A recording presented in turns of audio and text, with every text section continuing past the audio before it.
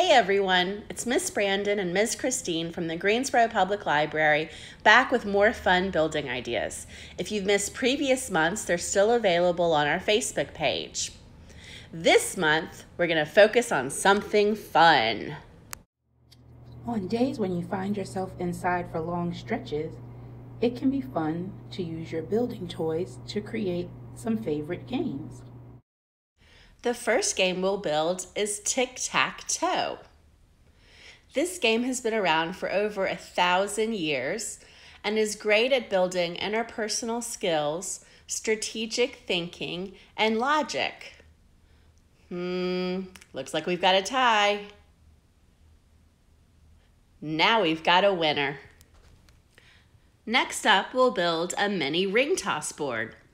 Ring toss games are great practice for hand-eye coordination and if you add a point system to the game, you can also use it to practice addition skills.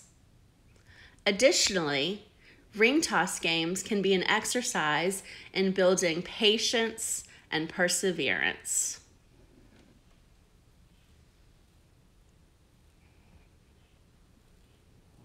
I'm trying to see if I can use Legos to create something like air hockey.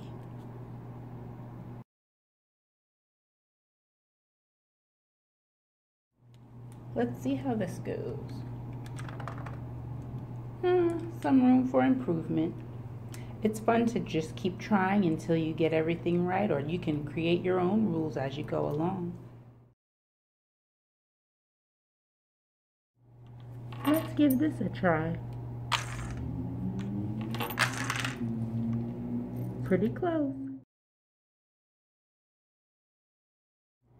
Here I use these building toys to create my version of a bowling alley. Let's see if I can get a strike. Not quite. Let's try again.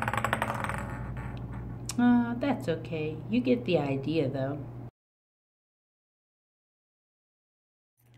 I think I need a ball or a marble to knock down the pins better, but I can't find one. Let's see if this tire from one of my building sets will work.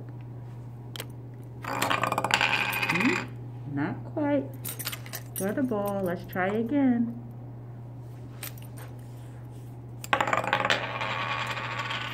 I'll have to keep looking for the right tools, but at least I got the setup of the bowling lane pretty good.